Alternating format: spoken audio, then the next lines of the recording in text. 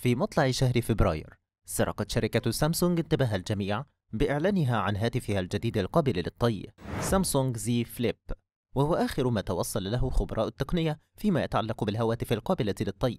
اليوم سنقدم لكم مراجعة مفصلة لهذا الهاتف فقد جاهدوا المقطع حتى النهاية. هاتف عيد الحب.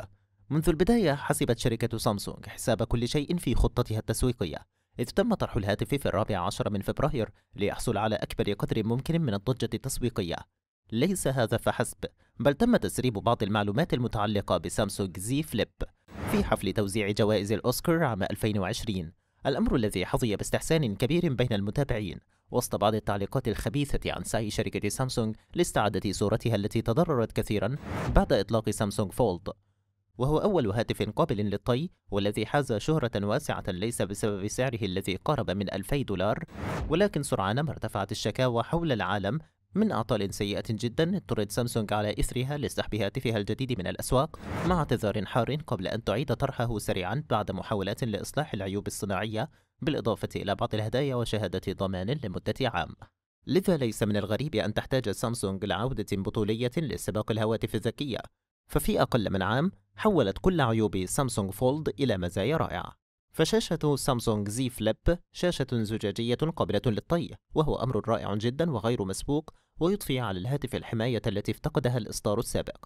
ليس هذا فحسب بل تم وضع إطار خارجي للشاشة مصنوع من الكربون للتخفيف من قوة الارتطام وكذلك لمنع دخول الأتربة وغيرها إلى الهاتف في حالة طيه شاشة الهاتف Dynamic AMOLED قابلة للطي. والشاشة الأساسية عند فتح الهاتف تأتي بحجم 6.7 بوصات بدقة 1080 في 2636 بكسل وبجودة Full HD مع كثافة بكسل 425 وأبعاد عرض 9 إلى 22 أي أنها شاشة سينمائية بامتياز تتيح لك تجربة استثنائية في مشاهدة الأفلام ومقاطع الفيديو.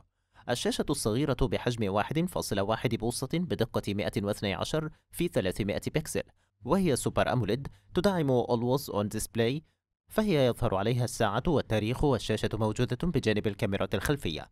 من أكثر نقاط قوة الهاتف على الرغم من كون الشاشة أكبر من العديد من شاشات الهواتف المنافسة لكن عندما تطوي الهاتف ستجد أنه صغير في حجم راحة يدك أو أقل.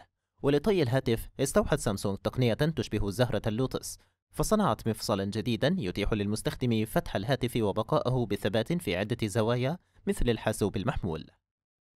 معالج الهاتف كوالكوم سناب دراجون 855 ثماني النواة بدقة تصنيع 7 نانومتر وبقوة 2.95 جيجا هرتز مع معالج رسومي أدريانو 640 وهو ما لاقى بعض الاعتراضات بسبب وجود معالج أقوى في إصدارات أخرى لسامسونج مثل معالج كوالكوم سناب دراجون 865 مساحة التخزين 256 جيجا مع 8 جيجات من الرامات والذاكرة من نوع UFS 3 ولكن لا يدعم بطاقة الذاكرة كما أن عدد الرامات قد لا تكون كافية لتشغيل الهاتف بأفضل صورة ممكنة.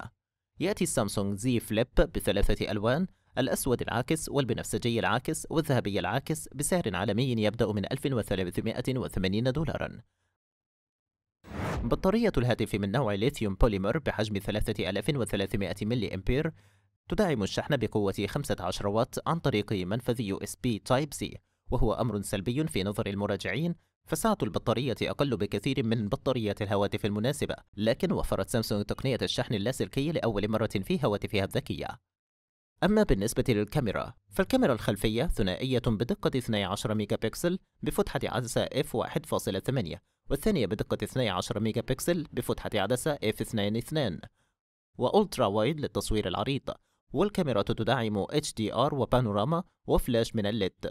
أما الكاميرا الأمامية فهي بدقة 10 ميجا بكسل بفتحة عدسة f2.4 وعلى الرغم من كون الكاميرات أقل جودة من منافس سامسونج ومن بعض إصدارات سامسونج نفسها لكن عملت سامسونج على توفير مزايا باهرة. فبهذا الهاتف الرائع يمكنك استخدام الكاميرا الخلفية لالتقاط صور السيلفي بالإضافة إلى تعديلات جديدة لدعم التصوير الثابت بدون الحاجة لحمل الهاتف.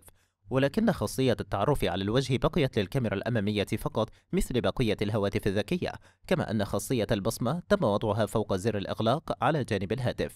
ولكي لا يتكرر الماضي يمكننا أن نلاحظ السلوك الحذر الذي تتبعه شركة سامسونج لكي لا يتحول هاتفها الرائع إلى سلاح مضاد مثل سلفه. فعملت على إصدار تعليمات للمستخدمين بغرض الحفاظ على الهاتف وتلك التعليمات نذكر منها لا تخدج الشاشة بقلم أو ظفر. لا تمسك الأشياء بين الشاشات عند الطي. لا تلصق الملصقات على الشاشة. لا تضع عليه بطاقات الائتمان أو جهاز تنظيم ضربات القلب. أبعده عن الأتربة والطعام والمشروبات. وهي تعليمات أساسية جدا كما ترون تذكر من باب الاحتياط وأعتقد أنها غير ضرورية.